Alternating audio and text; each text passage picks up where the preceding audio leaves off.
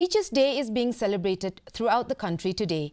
The day is celebrated on the birth anniversary of educationist and former President Dr. Sarvepalli Radhakrishnan.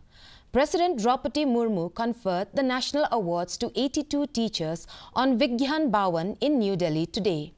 The Department of School Education and Literacy, Ministry of Education, has been organizing a national level function on Teachers' Day every year to confer the national awards to the best teachers in the country.